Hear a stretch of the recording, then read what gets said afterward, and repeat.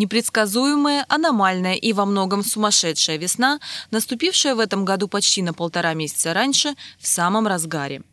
Вторая половина марта выдалась настолько теплой и по-летнему солнечной, что на деревьях появились первые почки. По многим показателям эта весна уже побила рекорды.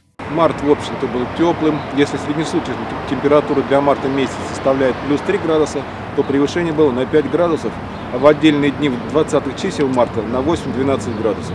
Максимальная температура была в Нижнедевицке плюс 20 градусов в эти дни, в Воронеже плюс 19. Значит, э, по осадкам был недобор. Значит, если общее количество осадков 74% от месячной нормы, то есть осадков в марте месяце было мало. Предварительный прогноз на первую декаду апреля месяца практически до 4 апреля холодно, ниже нормы на 2-3 градуса без осадков.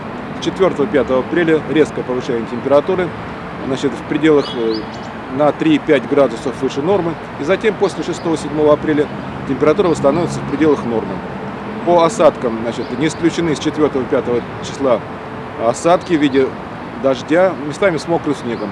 Э, после 7-8 апреля не исключены даже первые грозы.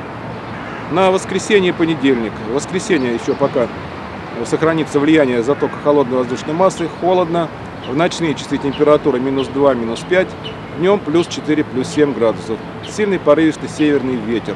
На понедельник ожидается очередной э, холодный фронт с севера, то есть не исключены осадки в виде дождя с мокрым снегом.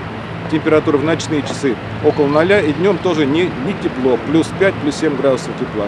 Также будет наблюдаться порывистый северо-западный ветер.